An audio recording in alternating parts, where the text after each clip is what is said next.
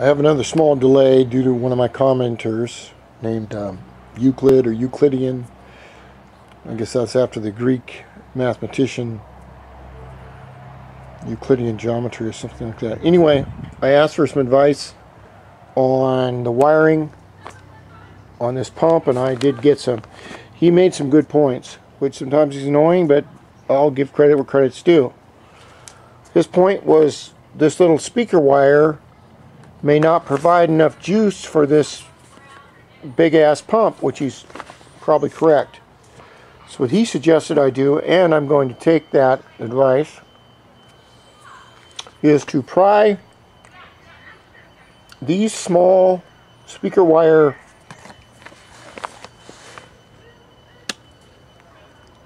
connectors off. Then I'm going to get some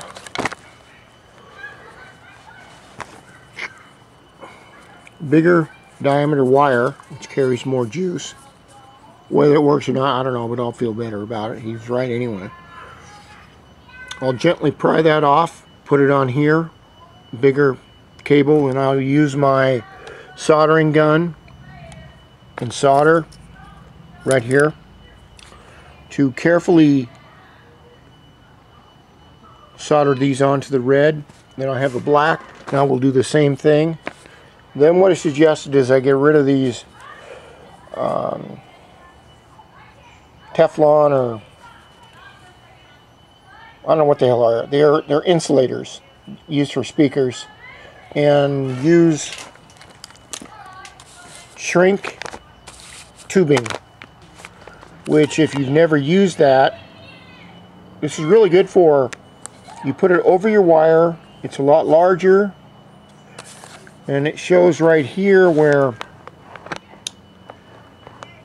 you put it over the, the wire that you want to insulate and use a either a heat gun or you can use a hair dryer or you can use your um, solder gun. If you go over it very lightly what it will do is shrink the fit the um, the wrapping. Then he had another good point, which since I'm not an electric expert, it made sense. This is the battery that I'm using in the deal right here. What he suggested is, look, you're running all these fans, gauges, um, other electronic components. Does your battery have enough juice to power all this throughout your bike's range? And that's a good point. That is a good point. So what I thought I'd do is this this uh, True Gel was purchased at uh, Bike Bandit, and so I don't know, 70 80 dollars. But never buy a stock battery because these stock batteries are nothing but bullshit. That they used to be good, they're not now. Get yourself go go and do some research and find a good battery. But what I'm thinking about doing is what you can do with these batteries is you can wire them in series. In series means you take another battery like this, put it side by side or whatever. You go negative to negative, positive to positive, and what you do is you still keep the 12 volt circuitry, but you double the cranking amperage power as far as I understand.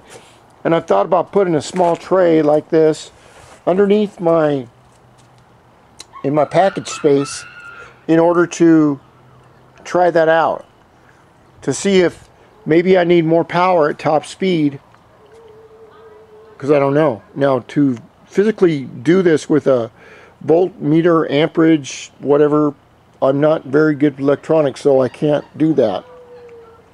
But he was he was wondering will it run my lights and my turn signals and all these other things and my spark plug at at full strength with all these extra add-ons that I'm adding on that I don't know.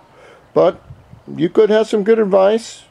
I give credit where credit's due, and I'm going to take the time.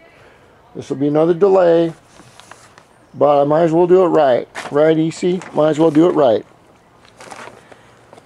We'll take these prongs off, carefully put them on a bigger gauge wire, put the uh, insulation on there for the bottom of this, or what he suggested, which I won't do, is to go to a um, a wrecking yard, find an Audi with this plug, cut the plug off, and use it. Except uh, they aren't going to let you cut the plug off. They're going to have to buy the whole wiring unit, and they'll screw you on that too. So that's not really a big a big thing. But that is good advice from Euclid, even though I fight with him sometimes. I was going to ban him, but he does have good advice. So anyway, that's what I'm going to do because it is the right thing to do. Is follow that advice. Anyway, thank you, and I'm going to do some wiring.